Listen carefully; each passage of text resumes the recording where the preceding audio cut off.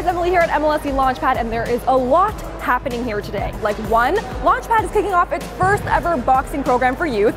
Two, that boxing equipment is donated by the movie Creed 2. And three, these youth have no idea they're about to be surprised by the star of the movie, Michael B. Jordan. He's gonna be right here at Launchpad. I don't know who's more excited, these kids or myself. Come on, let's go.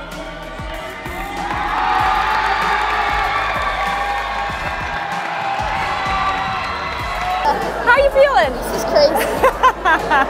Did you know that you were gonna meet Michael B. Jordan? I thought so. You, what, what do you mean you thought so? You knew? If he was sponsored by Creed, then I thought he might as well might come. All right, guys, we are here at MLSE Launchpad on the red carpet about to talk to Michael B. Jordan. What will kids learn from, from boxing? Like, what do you think they're really going to take away? From boxing, Yeah, I what think hard, hard work, you know, being dedicated, um, sacrifice, being tough, you know, being able to, you know, take a punch and keep moving. I think allowing yourself to rely on the people around you. You know, I think you're in that square, you're in that ring by yourself, but you know, you have a trainer, you have a coach, you have people that supported you through training camp that really got you to that point.